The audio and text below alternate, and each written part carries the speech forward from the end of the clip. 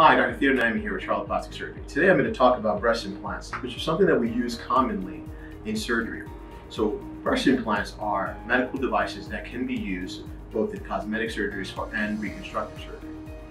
In reconstructive surgery, we oftentimes use breast implants to restore patients who are undergoing breast cancer therapy. For cosmetic surgery, breast implants can be used to enhance or enlarge the shape of the breast. Although there are many different types of implants that are commercially available on the market, they still break down into two major categories. One category are saline implants. Saline implants have an outer silicone shell, but the inside is actually filled with sterile water. Silicone gel implants have the same or similar outer shell.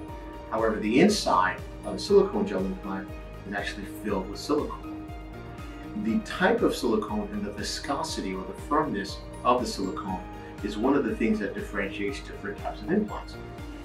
Because sometimes there's a concern over rupture, some implants have a gel that's firm enough that if you were to cut that implant in half, the gel would never leak. One of the questions that tends to come up during consultation is whether somebody should consider using saline or silicone. You know, as a plastic surgeon, this is a matter of patient preference. Okay? Some people believe that the silicone tends to move more like a natural breast. Some people tend to feel as though the saline implant feels more like water in a balloon. However, there are pros and cons. For example, if you have a saline implant and that implant ruptures, you'll know right away.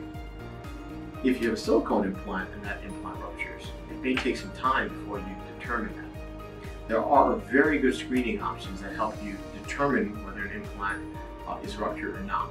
So that may be some of the reasons somebody may prefer a saline over a silicone. In general though, it's important to feel the implant during a consultation and then just get a feel and assessment of which one is most appealing to you.